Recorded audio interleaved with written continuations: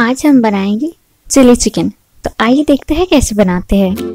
एक बोल में हमने बोनलेस चिकन लिया है 400 ग्राम्स फिर इसमें डालेंगे नमक, स्वाद के मुताबिक. एक कप कॉर्नफ्लावर और दो अंडे.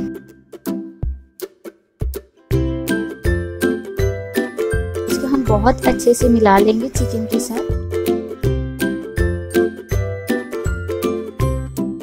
इसको आधा घंटा के लिए छोड़ देंगे फिर कढ़ाई में डालेंगे रिफाइंड ऑयल। तेल बहुत अच्छे से गर्म करना पड़ेगा।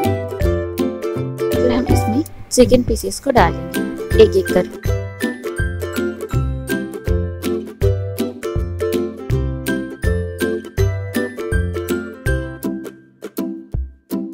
एक साइड सैलो होने के बाद हम इसको पलट देंगे।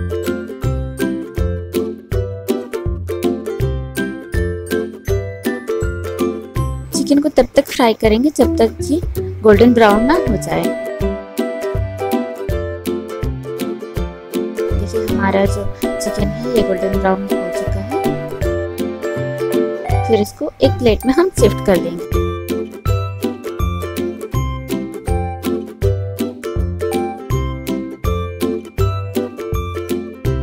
फिर कढ़ाई में थोड़ा सा तेल कम करके उसमें डालेंगे चॉप किया हुआ लहसुन।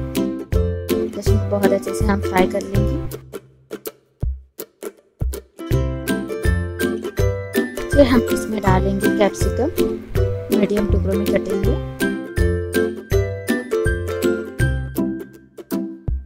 फिर इसमें डालेंगे नमक।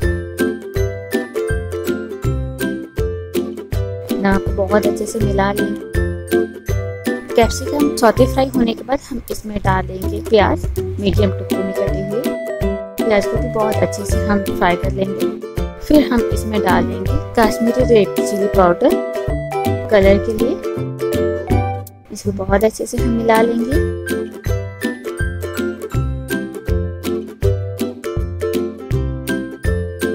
फिर हम इसमें डालेंगे स्प्रिंग ऑनियन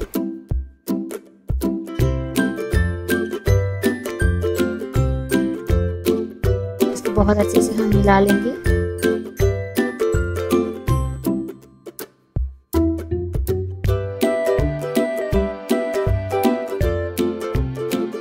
फिर हम इसमें डालेंगे सोया सॉस।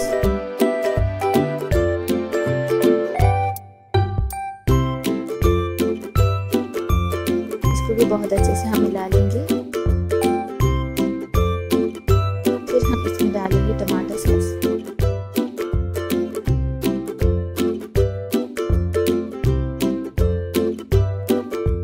इसको भी बहुत अच्छे से हम मिला लेंगे। अगर किसी को थोड़ा सा तीखा पसंद है तो फिर वो चिली सॉस भी डाल सकते हैं। लेकिन मैंने यहाँ नहीं डाले। फिर हम इसमें डालेंगे हरा मिर्च। इसको बहुत अच्छे से हम मिला लेंगे।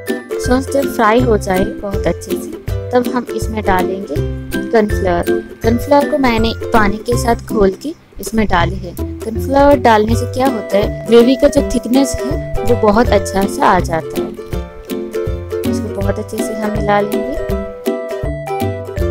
फिर हम इसमें डालेंगे हमारा चिकन पकौड़ा।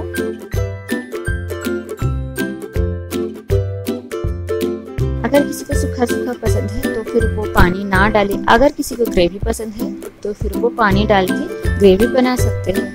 जैसे कि मैंने यहाँ बनाए। पानी को बहुत अच्छे से हम मिला लेंगे। फिर हम इसमें डालेंगे विनीगर विनीगर को भी बहुत अच्छे से हम मिला लेंगे फिर इसको धीमी आँच में 15 मिनट पकाएँगे। देखिए, हमारा जो चिली पनीर है, ये बिल्कुल बनके तैयार है तो इसको अब सर्व करें।